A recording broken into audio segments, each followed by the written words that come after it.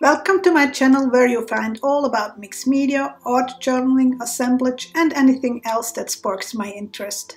Hi, my name is Bea Grob and I'm glad you are here today. Welcome back folks. Yep, I'm here again. you know, with all that copper stuff going on, I had to think a little bit whether I'm gonna use my sketches to make some cute cards together with you. And together with you, I mean, I did clean them up on the computer and made printables out of it. So if you go over to my website www.beagrob.com, it is a PDF file with four pages. Each page has two images, which gives a total of eight images for as low as 5 Swiss francs to download in my shop. And you can do with it whatever you want. If you want to sell some cards from it, I'm fine with that. The only thing I wouldn't like if you take those PDFs and sell it as PDFs online. I'm gonna make a little mini series about that. Uh, I'm gonna color in two per session. For today I'm gonna use watercolors. I do have those are the Jane Davenport. Any watercolors you have on hand would work, and that is. Um, hold on a second. It's a Paul Rubens metallic, whatever you have. I also have prepared some markers, and I also have these stickles. I'm not sure what I'm gonna use from these things. Maybe I'm gonna use some for the stars. I don't know yet, but I'm certainly gonna use watercolors. I have planned some of them to uh, color in with watercolors and some I'm gonna do with uh, colored pencils. I don't do so much like alcohol markers like Copics or things, that's just not my thing, but you certainly could do that too, depending on what kind of paper you're using to print on. So talking about paper, what I have used is um, this silver board uh, paper, which is uh, a handmade paper off-white. They say it's for writing, drawing, painting and printing, even for the inkjet printers.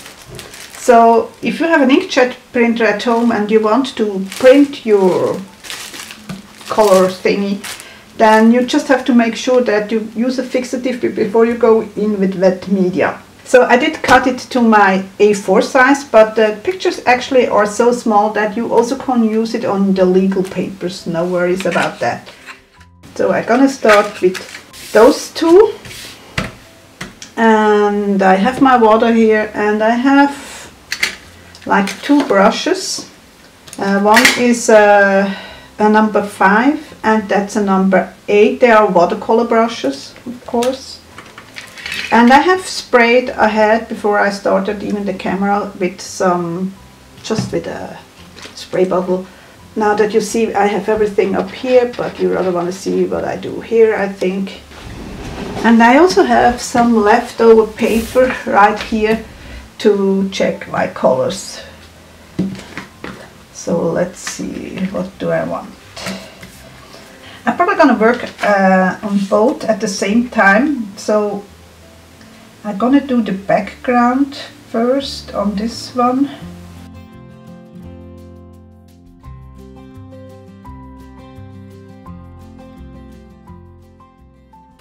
And then now I just drip in a little bit of color, but I actually hmm, think I might go with some metallics too.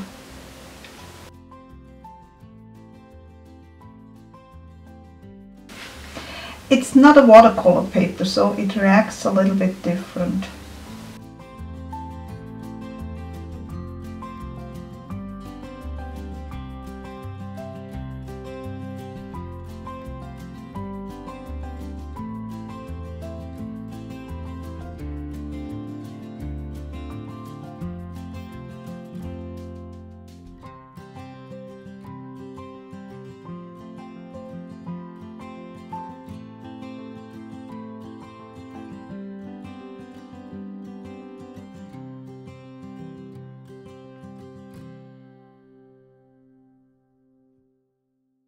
I did add a tiny bit of magenta or some red and you get a more muted color. That's what I was doing here.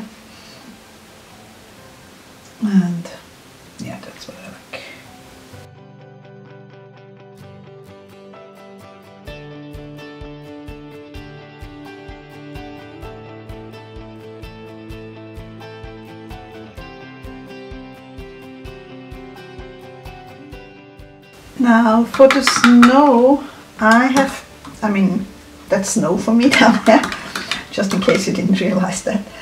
I'm gonna use the silver here. And maybe I'm gonna throw in a little bit of the wash white. Just to tone it down a bit, yep. So it's a mixture between white and silver.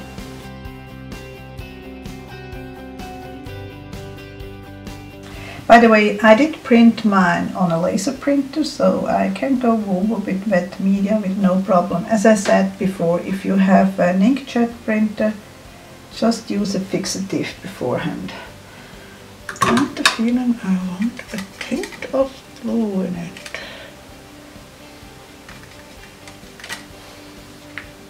Okay, it is dry. I think, um, I know the head's gonna be red, so for the owl itself, I think I'm gonna use some gray-brown colors.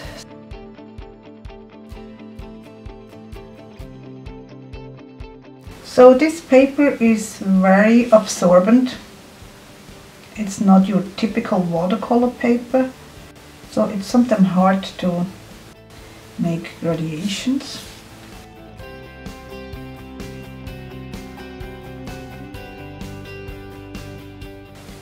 Maybe I grab a little bit of turquoise.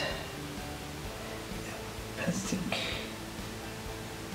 just to give a little bit of variation. And on this side again a little bit. And then I let the paint do its thing. But I want to change here, I'm not sure if I can. Doesn't seem I can lift up the paint. Just want to outline it a little bit nicer. Didn't do such a good job before.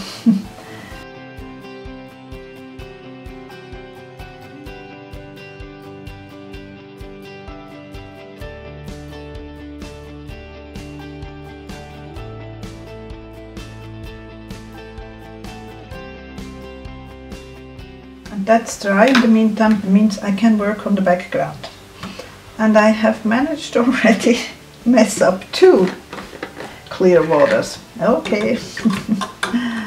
Let's try again. I'm just gonna add a little bit of a blue in the background here. And I wet first the paper. Okay. Now for the blue. Okay. Now I'm just dipping it in and the watercolor goes wherever it is wet helping in some areas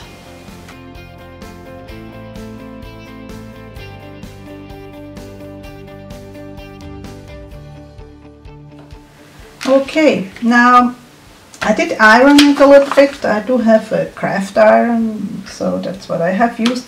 And I told you I'm gonna use markers. I actually gonna outline those things again. You know, I like the, the style of illustration, so that's why I do it very often. It's a black uh, acrylic marker that I'm using here.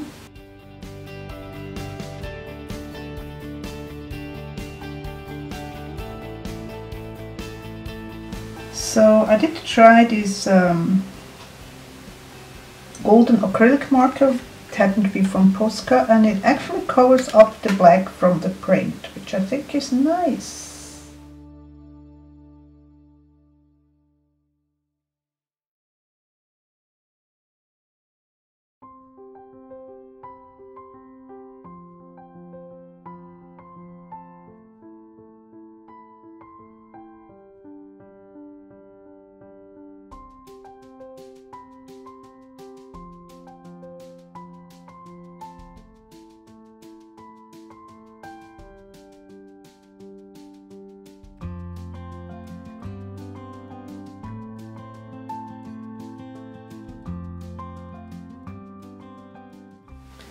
Note to myself, don't touch while the glue is still wet. So I have a little bit of a boo, boo, I'm not sure if you can see it, but I have spread a little bit of the glimmer to the background. Oh well, Nobody knows if you don't tell them.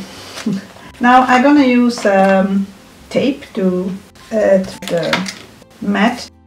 I do buy those cards with the envelopes already prepared so I don't do my own card bases. Buying the paper for making the card bases and the envelope at least here in Switzerland is sometimes more expensive than just buying the set. So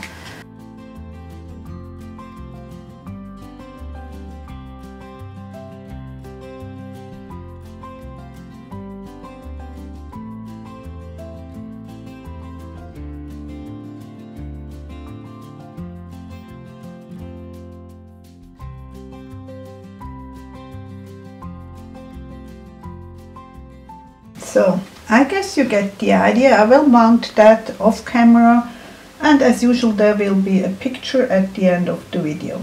I hope you enjoyed this little video and I hope to see you soon again. Take care. Bye.